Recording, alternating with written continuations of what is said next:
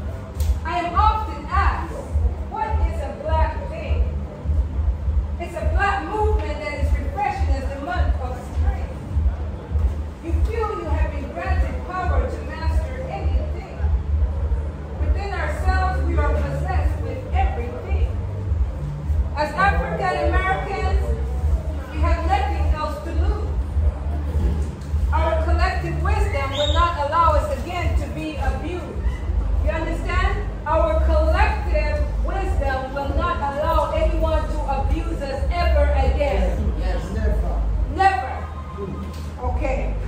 I am often asked, what is a black thing? Let us see, we're in February, what the news